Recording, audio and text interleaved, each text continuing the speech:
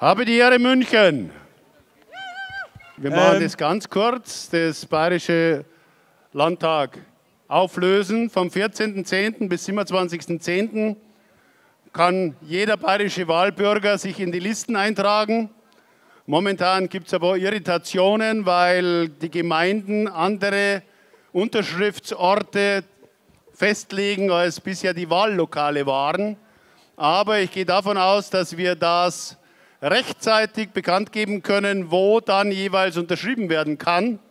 Und äh, es ist dezentraler als die Wahllokale für Bundestagswahl oder Landtagswahl.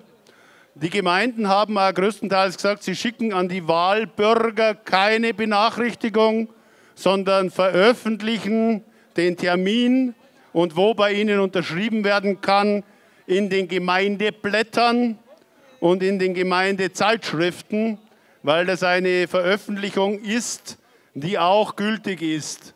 Und äh, deshalb bitte ich einfach alle, die sich daran beteiligen wollen, auch dafür Werbung zu machen und gegebenenfalls mitzuwirken, weil wir müssen natürlich möglichst viele Wahlbürger mit unserer Information erreichen.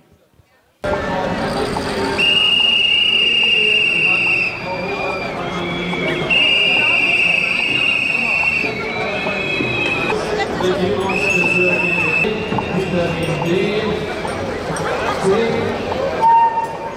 Ivermectin und Paracetamol damit konnte die Pandemie in Unterhalisch großartig eingeschränkt werden.